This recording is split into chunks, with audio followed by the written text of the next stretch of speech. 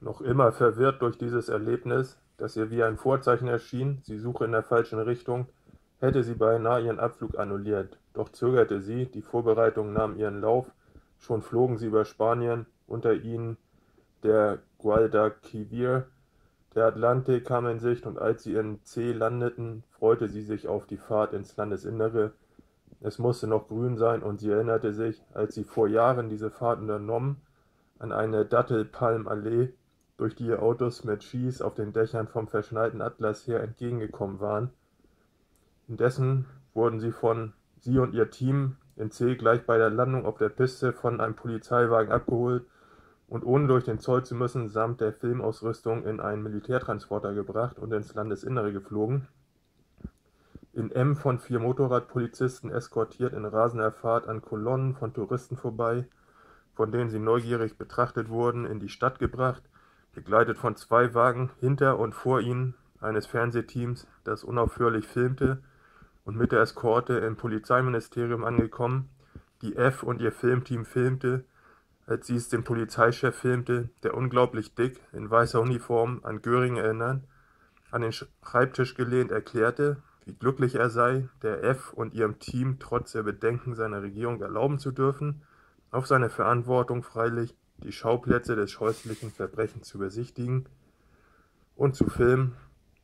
Aber am überglücklichsten sei er, weil die F bei ihrem Versuch, die Untat zu rekonstruieren,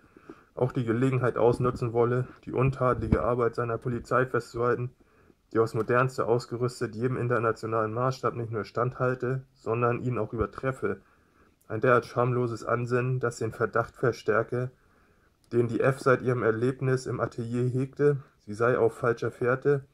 war doch ihr Unternehmen kaum begonnen sinnlos geworden, weil sie für den Fettwanz, der sich immer wieder den Schweiß mit seinem seinen Taschentuch von der Stirne wischte, nur eine Gelegenheit darstellte, für sich und die ihm unterstellte Polizei Propaganda zu machen,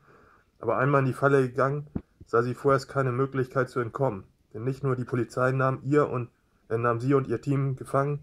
indem sie zu einem Jeep geführt wurden, dessen Fahrer, ein Polizist mit Turban im Gegensatz zu den anderen weiß behemmten Polizisten, die F mit einer Handbewegung anwies, sich neben ihn zu setzen, während der Kameramann an der Ton und der Tonmeister hinter ihr Platz nehmen und der Assistent mit den Geräten einen zweiten Jeep besteigen mussten, dessen Fahrer ein Schwarzer war. Auch das Fernsehen folgte ihnen, als sie sich der Wüste näherten, zum Ärger der F, die es vorgezogen hätte, vorerst Erkundigungen einzuziehen, sich aber nicht zu verständigen vermochte,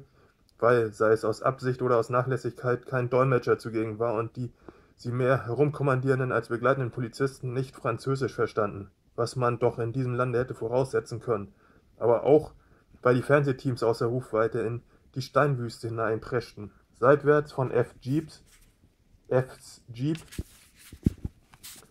wie denn auch die Wagenkolonne jede Ordnung verlor, so sehr, dass die anderen Wagen samt des Jeeps mit dem Assistenten und den Geräten sich in die Weiten, die in der Sonne kochten, zu zerstreuen schienen, so wie es jedem Fahrer einfiel, je nach Laune, sogar die vier Motorradpolizisten, die ihre Eskorte bildeten, lösten sich vom Jeep in welchem sie saßen, brausten davon, hetzten einander, knatterten zurück, schlugen weite Bogen, indes die Fernsehteams im Horizont zuschossen und plötzlich nicht mehr sichtbar waren.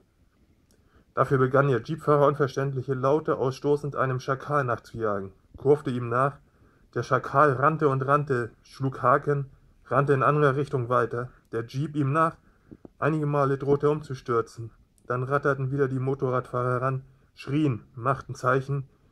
die sie, an ihre Sitze geklammert, nicht begriffen, bis sie plötzlich in die Sandwüste gerieten, offenbar allein,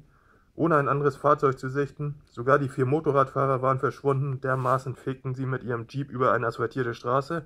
wobei rätselhaft blieb, wie es ihrem Fahrer, der den Schakal nicht hatte überfahren können, möglich gewesen war, diese zu finden. War doch die Straße teilweise mit Sand bedeckt, wobei sich zu beiden Seiten die Sanddünen häuften, wodurch es der F schien, sie pflügten durch ein von Sandwellen aufgepeitschtes Meer,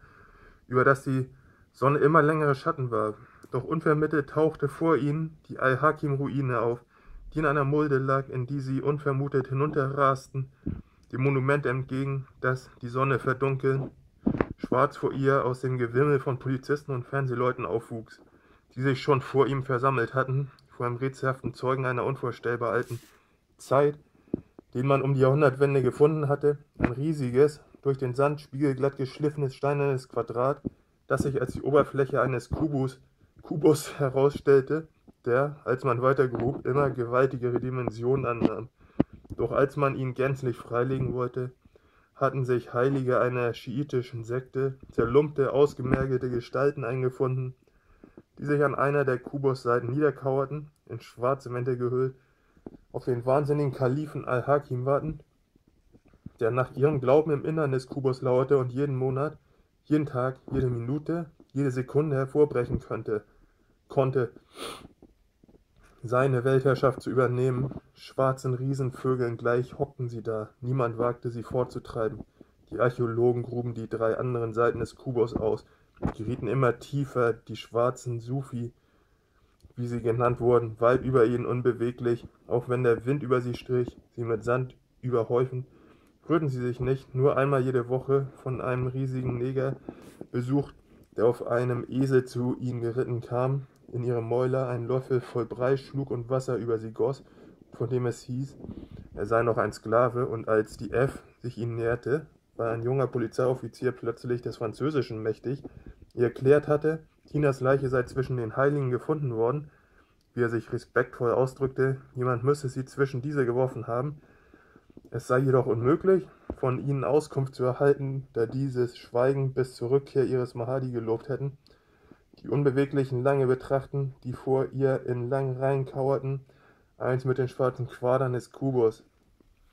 ein Gewächs an einer seiner Flanken, Mumien gleich, lange, weiße, strähnige, sandverkrustete Bärte, die Augen unsichtbar in tiefen Höhlen, dicht mit Fliegen bedeckt, die überall auf ihn herumkrochen, die Hände ineinander gekrallt mit langen Fingernägeln, die ihre Handteller durchbohrten, nun einen von ihnen vorsichtig berührte, um vielleicht doch eine Auskunft zu erlangen, fiel dieser um. Er war eine Leiche, auch der nächste hinter ihr surrten die Kameras. Erst beim dritten hatte sie den Eindruck, er sei noch am Leben, doch gab sie auf. Nur der Kameramann schritt die Reihe ab, sein Apparat an sein Auge gepresst, als er den Vorfall dem Polizeioffizier meldete, der bei seinem Wagen geblieben war, meinte dieser, die Schakale würden den Rest besorgen. Auch die Leiche Tinas sei zerrissen aufgefunden worden, und in diesem Augenblick setzte die Dämmerung ein. Die Sonne musste hinter der Mulde untergegangen sein, und der F schien es, die Nacht falle sie an wie ein gnädiger Feind, der schnell tötet.